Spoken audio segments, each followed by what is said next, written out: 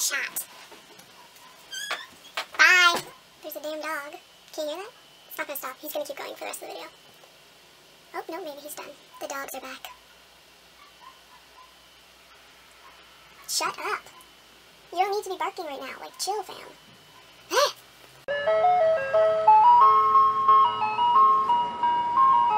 Hey guys, it's Jay and today I'm here with the Summer Reader book tag. It was originally created by Isle of Dree and I was tagged by Alyssa from Pucks and Paperback so I will leave both their links down below if you want to check them out. So without further ado, let us get started! The first question is Lemonade. Pick a book that started out bitter but got better and I am picking Before I Fall by Lauren Oliver. I hated this book at the beginning. Mostly because the main character, Sam, is a total bitch, and I hated her so, so much. But then as the story goes on, she develops a lot as a character, and I ended up giving this book like a 4 out of 5 stars, I think. It ended very nicely. Everything wrapped up pretty well, and I enjoyed it. I'm pretty sure they're making this into a movie too, so I'm excited for that to see how that works out. The second question is Golden Sun. Pick a book that made you smile beyond compare. And I am going with Eleanor and Park by Rainbow Rowell. This is my first Rainbow Rowell book. I don't know why I put it off for so long to read a Rainbow Rowell book because I absolutely love this book. Gave it a 5 out of 5 stars. It's one of my favorite books now. Mostly I smiled a lot because of Park's mom. I'm obsessed with her. I just want like a spin-off series of just Park's mom. I personally think that would be amazing. Please make it happen, Rainbow Rowell. Thank you. Question three is Tropical Flowers, and it is pick a book set in a foreign country, and I'm going with Anna and the French Kiss by Stephanie Perkins. You all know I love this book. I have a review of it if you're interested. Shameless promotion.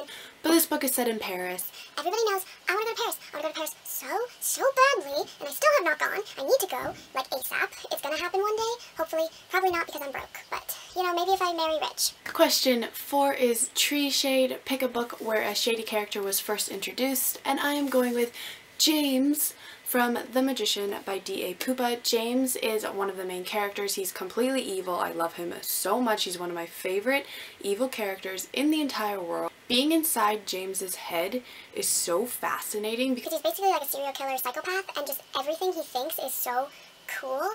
I know I probably sound super crazy, but I just love him as a character. I love being inside his head. And if you haven't read this book, please read it because it's super good. Question five is Beach Sand, and it is to pick a book that is grainy and the plot barely developed and I am going with Me, the Missing and the Dead by Jenny Valentine. I recently read this book.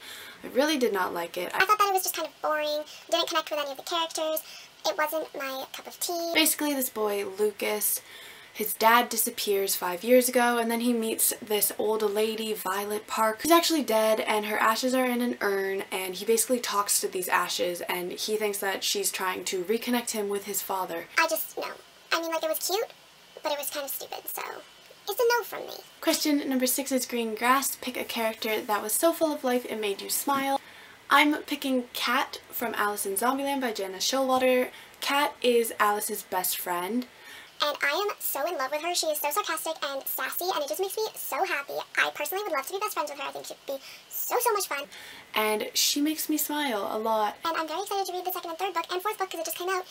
Question seven is Watermelon, and you have to pick a book with some juicy secrets, and I am going with If You Find Me by Emily Murdoch. I can't tell you what the secret is, but basically Carey, who is the main character, is hiding something giant in order to protect her little sister Nessa. They were kidnapped 15 years ago by their mom. When it's revealed, it's like, oh my gosh, that's insane. I absolutely love this book. I gave it a 4.5 out of 5 on Goodreads. Please read the book. It's so good.